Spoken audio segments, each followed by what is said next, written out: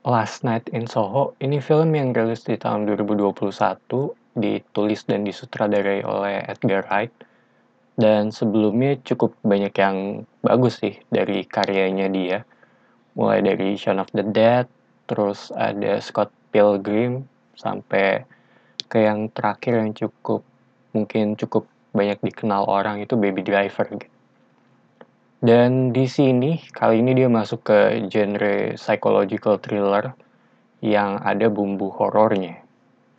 Ceritanya tentang Eloise, uh, fashion designer yang mendapat kesempatan untuk belajar fashion ke London, menyewa kamar, tapi ketika malam ia bermimpi atau bisa dibilang uh, terkoneksi dengan Sandy, seorang penyanyi pop di tahun 60-an jadi gue akan bahas ini dari sisi yang non spoilernya dulu ya, baru nanti ke bagian spoiler. Jadi buat yang belum nonton tetap aman dan yang mau denger opini gue mengenai ending di film ini itu ada di akhir video nanti. Eloise ini karakter yang bisa dibilang classy, traditional good girl sih dia dari pinggiran kota yang tiba-tiba pindah ke kota London, kota yang besar. Mungkin ada sedikit culture shocknya, bagaimana dia beradaptasi dengan anak-anak sumuran dia yang dari kota gitu dan dengan segala perbedaan stylenya ya. Yang menurut gue cukup bertolak belakang dengan si Eloise ini. Dan setelah gue tonton film ini menurut gue ini film yang sangat mengedepankan sisi psikologisnya gitu. Bagaimana seorang dengan masalah yang belum selesai diberikan masalah baru yang menurut gue berada di area yang rada mirip. Dan gue gak akan spoil mengenai hal itu. Soalnya ini salah satu film yang punya banyak layer sih. Dan dari awal film kita udah ngeliat masalah si Eloise ini dari sisi psikologisnya gitu. bahkan mungkin sekitar 7 menitan di awal film. Dan semakin parah dengan adanya karakter Sandy ini yang ia temui di mimpinya dia. Bagaimana batasan antara realitanya si Eloise ini semakin ngeblur. Salah satu hal yang gue suka di film ini itu transisi transisinya antara Eloise dengan Sandy, terutama di bagian dancingnya ya. Selain itu cukup banyak lightingnya sih, uh, warna lampu-lampu neon di film ini yang lebih dominan oleh warna merah dan biru. Kalau merah itu lebih ke anger dan passion ya, sedangkan biru itu lebih ke sadness. Dan setelah gue tonton, ya cukup masuk akal sih atau mungkin gue yang overthinking aja ya akan hal ini. Dan cukup banyak musik juga sepanjang film ini. Begitu gue dengar, mungkin pertengahan film gue agak sadar, oke, okay, ini ngingetin gue dengan style atau langsung ngingetin gue dengan James Gunn sih. Dan gue rasa cukup efektif juga ya di film ini untuk ngebantu ngebangun vibe di era 60-annya gitu.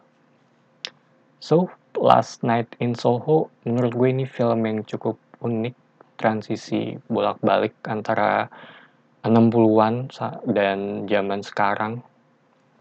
Itu juga cukup seamless kalau menurut gue. Rekomen apa enggak? Kalau lu pengen nonton film yang lebih ke psikologis gue sangat rekomen hal ini. Karena ini sangat bermain dengan apa ya mental So itu aja dari sisi yang non spoiler dan sekarang gue akan masuk ke bagian spoilernya. Jadi buat yang belum nonton bisa close videonya dan akan gue mulai dalam 3 2 1. Jadi di bagian spoiler ini uh, apa ya bisa dibilang setelah gue nonton sih. Ini kan film yang thriller gitu dan fokus ke sisi psikologisnya dengan ada sedikit bumbu horor terutama di bagian akhir film ya setelah kita tahu apa yang terjadi sebenarnya. Dan seperti biasa sih kalau film-film thriller kayak gini yang zaman-zaman modern gitu gue ngerasa kayak lu harus masukin twist gitu di situ gitu. Dan menurut gue pas revealing si Sandy yang ternyata yang punya rumah itu gitu agak kurang shocking buat gue. Walaupun karakter si Sandy ini tetap bisa dibilang punya alasan kenapa dia melakukan semua hal ini. Dan emang udah dibangun juga sih uh, dari awal film. Yang awalnya untuk jadi penyanyi tapi akhirnya itu udah bukan fokusnya lagi tapi ada tujuan lainnya. Uh, kesian dengan apa yang udah dia laluin gitu dan hasilnya ya seperti ini gitu. Terlalu banyak amarah di situ sedangkan kalau dari sisi karakter Eloise ya atau dari plot si Eloise ini menurut gue uh, ibunya agak sedikit kurang dibahas sih. Mungkin dari sisi durasi nggak masuk dan kita cuma tahu kalau dia bunuh diri dan sempat ke London juga gitu. Yang awalnya gue kira mungkin ada sedikit uh, hubungannya dengan filmnya di bagian akhir tapi ternyata lewat gitu aja. Ya yang jelas capek banget sih jadi si Eloise ini.